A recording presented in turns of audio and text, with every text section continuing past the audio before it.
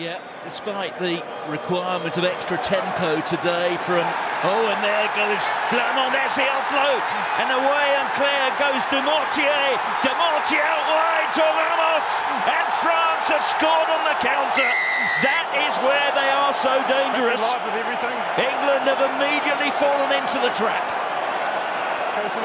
Wow, there is a tremendous amount of support over here, but even those guys with their fantastic cockerel hats on not have expected a try so far and so fast in the game. One minute, 49 seconds, and it's Ollivon, the ex-captain, makes them Flament. He's got to be one of the players of the season so far for France, and now it's just a foot race. And with those two guys on the ball, Ramos is always going to make it. That was super, super stuff.